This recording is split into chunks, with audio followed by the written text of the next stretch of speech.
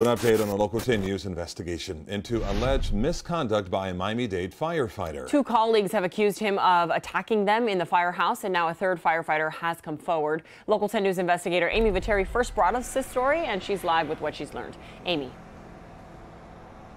Well, that's right. It's now a total of three female firefighters who have filed complaints alleging one of their coworkers touched them inappropriately and tried to force himself on them. Late this afternoon, I was able to speak by phone with the third woman to come forward and file a complaint. She says, like the other cases, her incident happened several years ago. But unlike the other two alleged attacks, which happened here at Fire Station 20, she says hers happened outside of work. We first told you in May about two women, both Miami Dade firefighters, who alleged they were sexually attacked by a fellow firefighter. He's a predator. Now, Local 10 News has learned since our initial report, a third woman has come forward with a similar complaint against firefighter Jose Lopez. Lopez has been on administrative duty since April of 2022 when the department received those complaints. Here's what he had to say when we asked him about the allegations last month. You have to go to headquarters, Miami-Dade Fire Rescue Headquarters, and talk to them.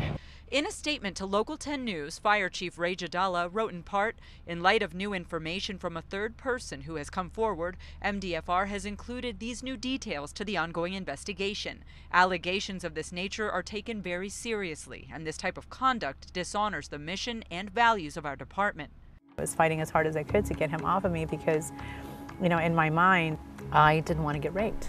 The two women who initially came forward allege the attacks happened over 10 years ago. Neither reported them at the time, they say, over fears it would affect them in the workplace. It wasn't until they met years later and learned they had similar experiences, they say they decided to come forward. It's the same guy, the same station both women, who we're not identifying, say Lopez attacked them on different occasions during their shifts at Fire Station 20 in Northeast Miami-Dade. It was like a horror movie.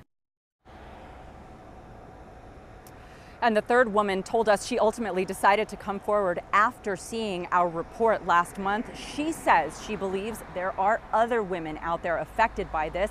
A spokesperson for Miami-Dade Fire Rescue says they want anyone with details about this case involving Jose Lopez to contact them. They want them to reach out to the department's Division of Professional Standards. We're live in Northeast Miami-Dade. Amy Viteri, Local 10 News. Okay.